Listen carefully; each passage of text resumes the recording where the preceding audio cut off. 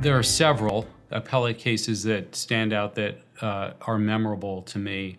The one that comes to mind initially is uh, getting the Court of Appeal to reverse the trial court's ruling against my client. I was the appellant in that case, and the case um, involved my client's uh, effort to compel arbitration.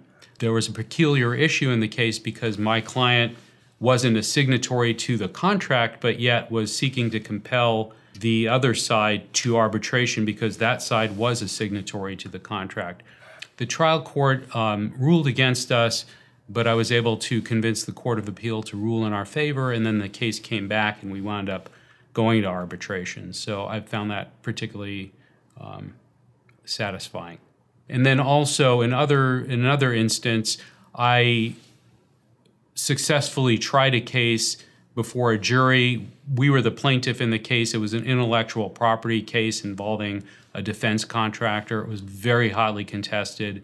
We won at trial.